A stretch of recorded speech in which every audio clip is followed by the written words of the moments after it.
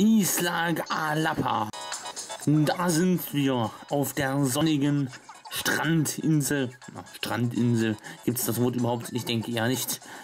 Jo, und damit seid gegrüßt, meine lieben Zwerge, Gnome, Hobbits und Ändlerinnen zu einem neuen Part.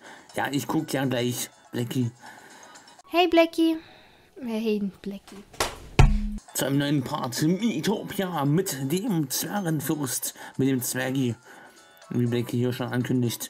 Ja, im letzten Part haben wir den dunklen Fürsten, den dunkleren Fürsten doch noch besiegt und ja, die Geschichte vom dunklen Fluch erfahren und haben uns dann schon mal hier auf diese Insel begeben und ja, heute wird es mal hier weitergehen. Meinen wohlverdienten Strandurlaub werde ich mir hier mal gönnen.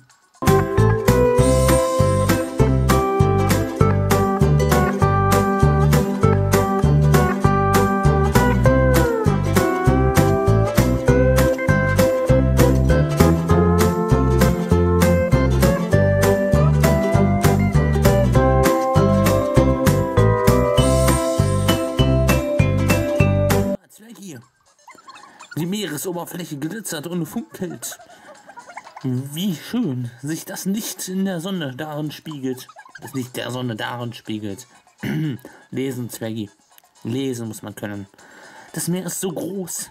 Und unser Weg führt direkt hindurch. Was durchs Meer? Tatsächlich, dann mal weiter. Yippie. Ja, und dann geht's mal voran. Wir rennen hier wieder den Weg entlang. Wir rennen die Strandpromenade entlang. Einmal die Fetzen der Formel einsetzen und herausfinden, was sie bringt. Ziemlich viel. Okay, oder auch nicht so viel. Da haben wir wieder wen gerettet. Halt, Moment, war da nicht was? Hatten wir nicht eigentlich alle Gesichter aus Mythopia gerettet und den dunklen Fürsten verbannt und die ganzen Gesichter zurückgeholt? War nicht wieder Frieden und Ordnung in Mythopia eingekehrt? War das nicht so? Hm, seltsam. Da gibt es einen Fehler in Mythopia. Ha, ich bin ihm auf die Schliche gekommen. Auf Reisen zählt nur eins Freundschaft. Ja, scheinbar sind wohl doch nicht alle Gesichter gerettet. Zum Beispiel diese Kaulquappe und der blaue Exo. Der hat, wie ihr seht, noch ein Gesicht. Die haben noch Gesichter. Ist nicht ganz richtig, dass die gerettet wurden. Okay, die sind jetzt etwas stärker. Lassen sich nicht ganz mit einem Hieb besiegen. Ja, ich habe ein bisschen Offscreen-Training gemacht. Um die goldenen Fahnen in allen Gebieten wieder zu schaffen. Und die 100% zu erreichen. Und da habe ich unter anderem auch seine Robe erhalten. Wer hat es bemerkt, dass das neu ist? Bonus ERF schon wieder. Kriegen wir jetzt jedes Mal Bonus ERF. Die muss natürlich der liebe Donald erhalten. Damit der auch mal im Level ansteigt. Babynahrung. Okay, das von der Kaulquappe oder was? Von dem Exo. Oh, es ist dunkel oder was?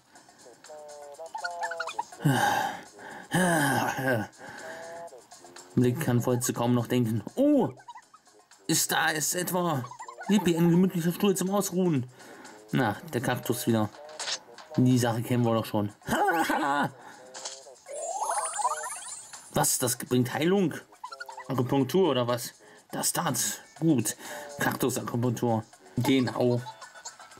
Hab ich schon, habt ihr schon alle aufgewärmt? Ja, kann man so sagen. Beim Sprinten wird es noch wärmer hier auf der Insel. Wir sollten hier eigentlich nicht so sprinten. Das ist eigentlich bei der Hitze auf Isla Galapa nicht so ratsam. Und ein Gasthaus. Ein Notfall! Was zum? Sarah hat sich eine Erkältung eingefangen. Tada! Andi fühlt sich wieder besser. Ach ja, die ist ja im Offscreen-Training.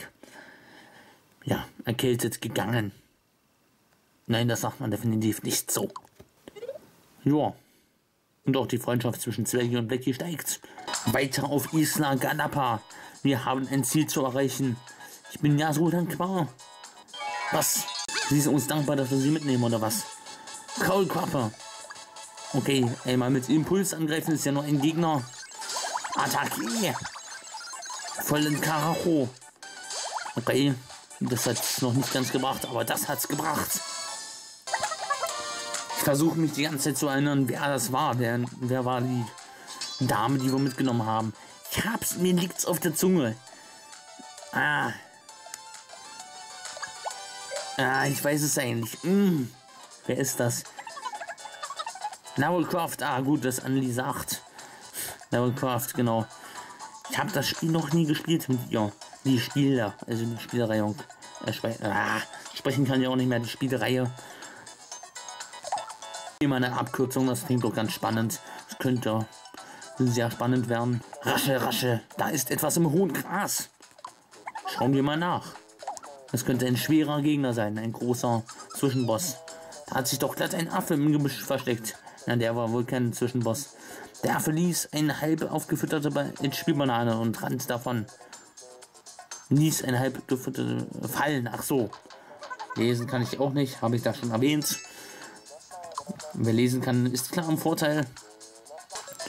Ja, ähm, jetzt kommt hoffentlich mal ein schwerer Gegner. Jo, ne, obwohl schwer, ob die schwer sind. Ich hatte da eher eine Furie erwartet, oder drei von der Sorte, vielleicht drei Furien. Das ja mal nice gewesen. Okay, scheinbar sind doch, uh, uha, ich habe sie unter, unter, wie sagt man, unterschätzt. Aber ja, da wollen wir ja jetzt bloß nicht verlieren. Oh, hörte die Musik im Hintergrund? Die ist doch ein bisschen, ja, tropisch und, ja, strandmäßig. Wir machen halt ein bisschen Urlaub, müssen zwar ein paar Monster bekämpfen, aber ja, wir lassen es gut gehen am Strand. Ist ja noch alles nur halb so wild. Waren bisher noch keine Monster, wo ich gesagt hätte, oh, ey, die zerstören mir den Spielspaß hier. Ne, so schwer, da komme ich nicht durch. Ja, ist der etwa berühmt? Ja, berühmter als ich. ja, also, ja, Ansichtssache. Ich würde eher sagen, nö. Mit, mit den paar Abonnenten, 200 Abonnenten, 300 Abonnenten. So genau weiß ich nicht, wie viele sie hat. Sorry. Das weiß ich nicht so genau. Leider. Oh, beste Freunde. Na, das wusste ich ja noch gar nicht, dass wir beste Freunde sind, Blackie. Wie der R-Starken gelernt. Ich habe da leider zugestimmt. Uiuiui. Dafür gibt es doch gleich für Donald einen neuen Panzer, einen Macho-Panzer. Und für die Annelie eine neue Rüstung. Eine Macho-Rüstung. Passt ja. Ich meine, passt zu Donalds Geschenk, zu Donalds Zeugs, was er gekriegt hat. Und weiter kann es gehen. Die Sarah ist noch krank, ist noch erkältet, aber ich wollte sie sowieso nicht mit in mein Team nehmen. Also, ja, alles Knühle. Donald ist ja erschöpft und fällt in eine Matschpfütze. Das soll am Strand mal vorkommen. Das soll mal passieren. Donald ist wütend auf Blackie. Was hat denn sie die schon wieder gemacht? Sie ist doch, was, sie ist nur vorbeigegangen. Das ist Grund, wütend zu sein. Na ja, gut, hätte aufhelfen können, aber ja, komm.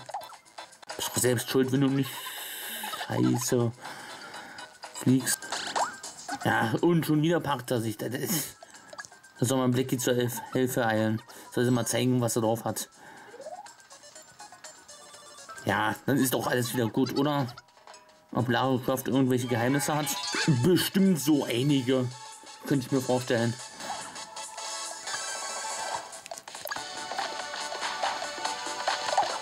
Also wenn jemand Geheimnis hat, dann also sie, aber gut. Wenn irgendjemand Geheimnis hat, dann ist es ja wohl Lara Croft. Aber gut. Level up für Donald. Oha. Ich habe schon fast Sarah gelesen. Habe ich Sarah mit Donald verwechselt. Oha. Das darf meine Schwester nicht bemerken. Die ist nebenan. Sprechen wir mal ein bisschen leiser. nee, naja, bringt ja eh nichts. Ich veröffentliche das auf YouTube. Deshalb kann ich ja lauter sprechen und gewöhnlich Weiterlauf äh, weiter moderieren.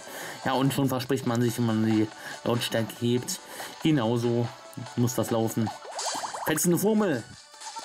Okay, ja, ich erwarte mir nicht viel davon. Ja, genau. Die sind doch ein bisschen stärker. Und die Exos. Uha! Ich bin sehr geschwächt. Lass mich das bitte überleben. Alles in Ordnung, Zwergi. So ein paar HP-Streuer für Zwergi und den Rest des Teams. Donald darf in der Ruhezone aufruhen. Aufruhen, genau.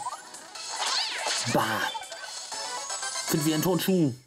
Ich glaube nicht, dass sowas von Lara Croft kommen würde, dass das ein Zitat von ihr wäre. Nee, das wäre ein Zitat von meiner Oma. Meine Oma würde sowas sagen, fit wie ein Turnschuh. Ja, das ist, glaube ich, wirklich ein Wort von ihr. Ein Satz. Rotschwänzer. Ein bayerisches Gericht oder was? So. Da war Sarah wieder. Mir relativ. Schnuppe. Ich will sie ja eh nicht mitnehmen. Nicht, weil ich irgendwas gegen sie hätte, aber ja, ich brauche sie gerade nicht im Team. Ein Rustpanzer wäre der Traum von Donald. Mal sehen, ob mein Geld noch reicht. Gerade so noch. Rust hat eine HP-Banane gekauft. Da gehe ich schon mein restliches Geld und der kauft so eine blöde Banane. Mann, Mann, Mann, Mann, Mann, Mann, Mann. Dieser Donald. Meine Fresse. Auf geht's. Kämpfen ist auch eine Art Sport. So, du sagst es, das könnte schon ein bisschen sportliche Betätigung sein für das Team. Drei Spielscheine erhalten. Naja, das Spielscheinrad drehen ist keine sportliche Betätigung. Obwohl, Schach ist auch eine Sportart. Deshalb, warum kann das auch keine Sportart sein? Oh, eine Kleidung oder eine Waffe. Eine Waffe enthielt Kürbisflasche. Okay, rüsten wir mal aus. Verstärkt immerhin den Angriff ziemlich. Und die Magie auch. Kann ich gebrauchen. Dürfte sehr äh, effektiv sein. Existiv, ja genau. Zwecki erfindet neue Würzer. Sag mir schon, auf wen du stehst. Auf niemanden. Das stimmt. Stimmt. Hast recht. Ich bin aktuell Single. Und glücklicher Einzelgänger. Ich fand das besser. Level 21, beste Freunde. Ich gebe ihr trotzdem kein Küsschen. Nein, kann sie vergessen. Oha, was haben wir denn hier? Dämonengeschoss, wenn das mal nichts Nices ist. Zwei Patrönchen hat der auf Lager und das können wir uns nicht mehr leisten. Bedankt euch beim Donald. Von daher, ich bin nur bisher links und rechts die Wege gegangen, die nicht zum Hauptziel führten. Ja, weil ich einfach auch mal probieren wollte, die Schatztruhen finden und so weiter. Die Hauptstory ist sowieso vorbei, da können wir auch mal links und rechts lang gehen und die Wege ausprobieren. Nicht und war bestimmt auch interessant. Fetzende Wummel. Schreibt mir mal in die Kommentare, ob ihr das auch in Zukunft noch sehen wollt. Naja, so viel Zukunft wird es nicht geben. Ich schätze noch zwei, drei Parts für dieser dieses Mythopia noch, dieses, diese Let's Play-Reihe noch brauchen. Dann ist er auch fertig. Ein bisschen Zeitquests werden wir noch machen, um die neuen Klassen zu erhalten und ja, dann vielleicht noch ein, zwei neue Teammitglieder integrieren, da wir jetzt die Villa haben und so weiter. Ja, und dann werde ich das auch bald beenden. Also, so viel werde ich hier nicht mehr machen. Also, so random Zwischenquests werde ich jetzt nicht machen. Also, Sachen, die mir gar nichts bringen. Oha, eine Falle! Zwischenquests nur für nur zwei HP-Bananen oder so. Die werde ich dann auch in Zukunft eher lassen. Jetzt mache ich noch die hier, die Isla Dingens. Ich mittlerweile so vergessen habe. Ja, so viel zum Kurzzeitgedächtnis. So viel dazu. Feuerfrei. Ihr schafft es auch ohne mich. 17.000! Oh, scheiße. 1700. Habe ich nicht verlesen. 1080. Das sind wirklich 1080. Hier kriegt Donald. Rotschwänzer. Ja, Rotschwänzer, den müssen wir noch mal zum Geben, zum Essen geben. Zum Geben essen. Genau. Genau, Zwergi. Spielstreuer Power. Die wurden eingesetzt. Attacke. Mega Blitz. So, Progelb ist dran. Versteckt sich hinter Zwerge. Was? Anli, was machst du? Sind jetzt alle wütend oder was? Geht's doch ja auch nicht. Okay, den haben, einen haben wir besiegt, aber die Progel nicht. Die Progels zeigen uns einfach hier ihren Po. Gibt's doch ja nicht. Was zum Geier. 1703. Geschah 1703, ich weiß es nicht. Ich bin kein Geschichtsfan. Oha. Habe ich jetzt weggegeben? Naja, gönnt sie sich. Ein Gasthaus, oder? Ja, ein Gasthaus. Ich kann hell sehen. Das wird auf dem unteren Bildschirm präsentiert. Du hast jetzt. Äh, Moment, ich muss mich konzentrieren, die richtige Zahl zu lesen. 1700, das ist die 1700. Leute gerettet. Die Macht des Horst. Stell mich auch manchmal mit Absicht doof. Meine lieben Freunde. So, Level 11, Freunde. Ja.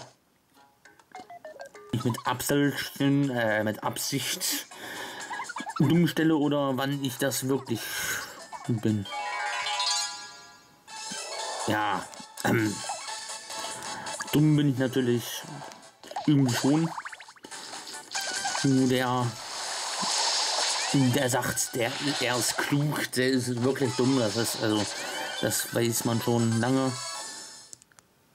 Haupten würde ich wäre klug, das wäre wirklich dumm. Ja, so ist es.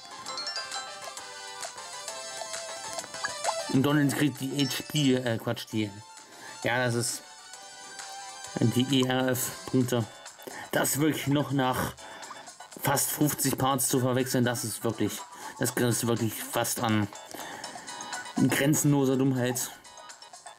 Grenzenlose Dummheit. Auch ein interessanter Satz. Satzbau. Jemand gemacht. Oh, den blauen Exo, den kann ich auch nicht mehr sehen. Fetzende Formel, ich setze es immer wieder ein. Ich setze es fast in jedem Kampf ein. Das ist, ich finde es einfach so nice. Explosionen, ich liebe sie. Hashtag Army. Ha, ein Kinderspiel. Nichts gewesen, was so sonderlich anstrengend wäre. Ist halt hier Strandurlaub. Kann man sich mal gönnen. Im Gegensatz zum dunkelsten Fürstkampf ist das hier ja, ertragbar. Obwohl der dunkelste Fürstkampf, der war ja auch ertragbar. So schlimm war er gar nicht. Lag nur an meiner eigenen Inkompetenz. Geschafft habe das erste Mal. Und es lag auch daran, dass ich die Steuer verschenkt habe dass ich mal aus Experimentierfreudigkeit, ich hab's ja selbst gesehen in dem Part, gesagt habe, probieren wir es mal aus, schenken wir mal Sarah den Steuer. Ich glaube, genauso waren meine Worte.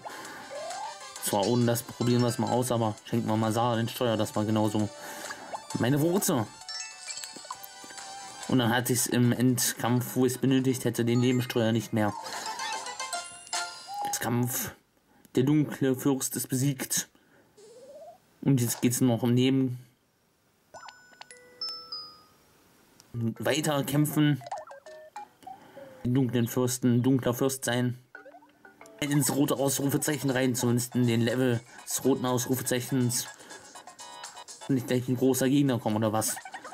Ehrlich gesagt, habe ich nur geraten, wo sich dieses Monster aufhalten könnte. Aber vielleicht sind wir hier ja tatsächlich richtig. Oha, da ist es doch. Und schon wieder wird ein Gesicht gestohlen. Das ist doch. Das, von wegen, wir haben Utopia gerettet.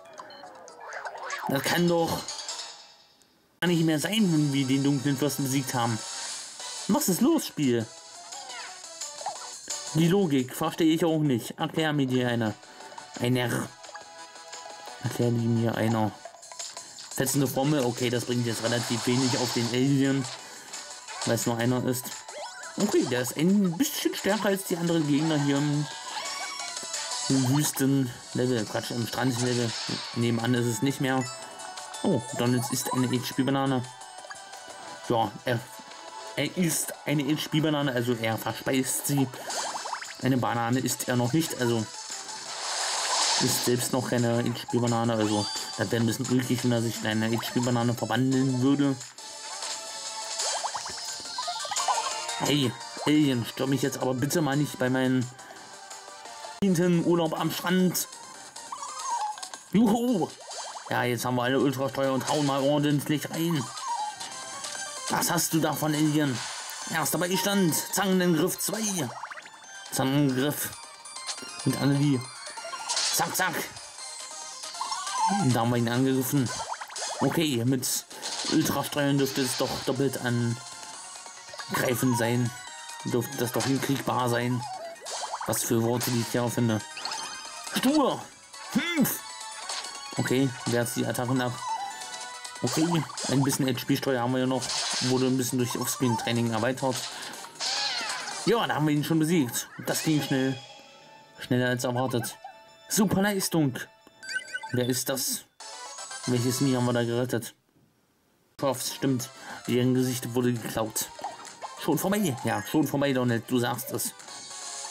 Ein Verb für Donald. Ein Verb für Annelie. Und Bonus ERF. Die kriegt, ähm, ja, Donald ist immer noch auf Level 24, ist immer noch der niedrigste im Team. Aber Croft gerettet. Sonst ist es eigentlich immer ihre Position, die Leute zu retten, aber heute haben wir sie mal gerettet. Da hat sie ihr Gericht, Gesicht zurück, ihr Gericht. Oh, ich höre auf, das ist, ich muss gleich aufhören mit diesem Part, das die Versprecher hören hier nicht mehr auf. Puh! Das Plagia... Was? Das Plagiatsmonster ist erledigt. Womit meine Unschuld bewiesen ist. Ich kann dir gar nicht genug danken. Bitte nimm dieses Geschenk an. Ach, das Monster sah wie sie aus. Das Monster, das Alien sah... Okay.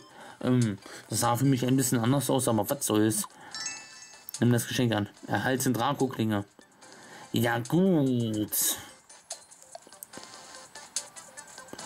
Ja, Annelie, der habe ich den schon geschenkt im Offscreen-Training. Nee, ist klar. Muss verkaufen für 3300 Gold. Das hat's gebracht. Naja, haben wir ein bisschen Geld bekommen von dieser Mission. Ich stehe tief in deiner Schuld. So, und dann gehen wir mal zum Vampir und holen uns dort unsere nächste Quest ab. Möglich ist. Die Klasse würde ich nämlich gerne haben. Die Vampir einen Mii für erstellt. Du hast Level 25 der Klasse Krieger erreicht. Ja, dann gehen wir mal nach weit gereist, würde ich sagen. Und gucken uns da mal um. Mal, was wir hier haben. Oh, ein Geschenk. Aufgabe. Wo ist der Vampir? Hier ist der Vampir. Vampir Iron Man. Kann ich den vielleicht irgendwie ändern? Das wäre vielleicht besser. Iron Man dient nicht wirklich als Vampir. Den würde ich da nicht für einsetzen. Nur dank dir darf ich wieder an Wettkämpfen teilnehmen. Endlich wieder Grashalmweitwurf. Okay. Lara Croft zum Team hinzufügen. Nein. Nein, bloß nicht. Ist nicht mein Mii. Nein. Will ich nicht. Okay. Iron Man. Dann würde ich mal sagen, wechsle ich den mal kurz. Guck mal, das sieht doch schon viel besser aus. Das passt doch schon viel mehr. Hey, du da! Genau, du da! Schauspielender Vampir Chris Redfield. Hör dir das hier an. Ich habe ein ganz besonderes Haus. Als wäre es für ihn gemacht. Darin lebt nämlich eine Kreatur des Schreckens. Ich kann mich nicht beschweren. Chris Redfield redet über ein, eine gruselige Resident. äh, natürlich ein Haus. Ähm. Moment mal, und was trage ich da? Was? Zeige ich da Brust oder was? Zeige ich da ungewöhnlich viel Haut oder was? Dann schaut euch diesen Kittel an. Guck mal, es ist doch hier nur so Bauch zeige ich so ein bisschen und so ein bisschen Brust, so ein bisschen so ein bisschen so ein bisschen hier Schlüsselbein, so so ein bisschen sexy. sexy Klamotte. Nicht irgendein ganz gewöhnliches Monster. Oh nein. Ein Geist. Ein richtiger, echter Geist. Das nervt ein bisschen, deshalb möchte ich dich um einen Gefallen bitten. Kennst du den Geist, kannst du den Geist aus meinem Haus vertreiben? Was, das soll jetzt meine Aufgabe sein? Als ob du das nicht kannst, Chris. Äh, du hast schon doch schon genug Geister und Monster aus Häusern vertrieben. Aus Residenten. Ja, aber für dich nehme ich das doch gerne an. Ich kann dir mal helfen. Und vielleicht habe ich dann so Chris Redfield an meiner Seite. Dann lohnt sich das doch. Wunderbar. Ich sollte dich am besten begleiten. Yeah! Chris Redfield begleitet mich. Nice, nice, nice, nice, nice, nice, nice. Er begleitet mich. schwebt er ein bisschen? Ich glaube, ja, der schwebt. Oh, cool. Als Vampir kannst du ein bisschen schweben. Nice. Oh, Quizweek. Quizzer. Quizzes. Nice. Nice, nice, nice, nice. Die können wir auch mal machen. Die Quizzes. Aufgabe. Was hat sie? Verwegene Kriegerin Cecilia. Kennst du Propa? Nebenan ist seine Heimat. Ich wäre ganz gern enger mit ihm befreundet. Deshalb musst du das hier an dich nehmen. Es ist ein Geschenk für ihn. Bitte gib es Propa. Drei Spielscheine. Die kann ich auch ausgeben. Aber ich bin zu schüchtern, es ihm selber zu geben. Ja, hm, naja, mach ich vielleicht später mal. Ja, in Watzumgeier, also neben Watzumgeier, eine Gruselvilla geht's im nächsten Part weiter in Resident Evil Utopia. Ja, das ist die neue Resident Evil Ausgabe, Resident Evil 8. Ja, sozusagen. Ja, bis zum nächsten Part. Deutlich nach uns sollte es euch gefallen haben, sollte euch dieser Part gefallen haben. Noch lasst ein Abo da, wenn ihr neu auf meinem Kanal seid, und ja kein weiteres Video mehr mit dem Zergenfluss verpassen wollt. Die nächsten Parts zum, von Resident Evil Metopia zum Beispiel. Ansonsten gehabt euch wohl. Hab's noch eine angenehme Zeit. Sagte ich da schon? Ja, ich glaube, ich sagte das schon. Sag ich eigentlich immer als erstes. Also haut drinne und gehabt euch wohl. Ciao, ciao.